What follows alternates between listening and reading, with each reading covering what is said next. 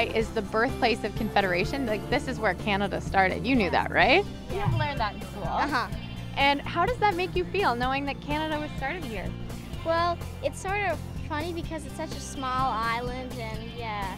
A little small PEI, I never thought it would happen here.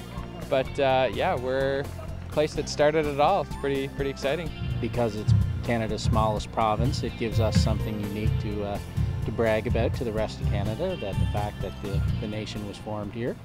Uh, where I work, there's a big picture of the, uh, the Fathers of Confederation, the one you know that is, you see with them all there. And sometimes I'll go look at that and I'll stare at it and I'll kind of imagine what it would, be, would have been like for them. And well, it's, uh, it's a splendid opportunity to unite uh, the various colonies that make up British North America.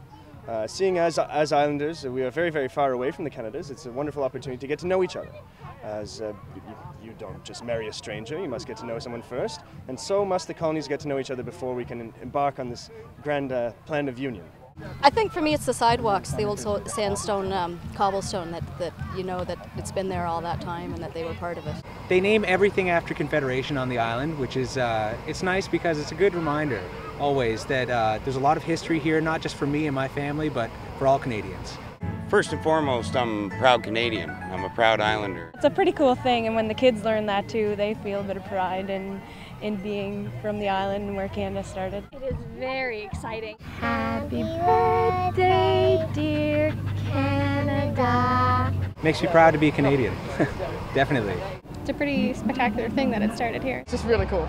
Oh, it means a lot. Uh, we have we have friends and family that aren't from the province that, that come visit us for that particular reason, actually, to go see all the different historic uh, places in, in Prince Edward Island uh, that where the places where Confederation was formed. What we're celebrating here is not just um, the birth of a country, but the birth of an overall community.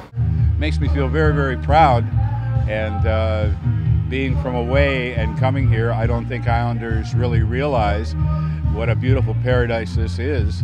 And uh, to have the seat of Confederation here and all the freedoms you see walking around here today, the appreciation for the music, the getting along, the sunshine, the understanding, and the freedom is uh, like no other.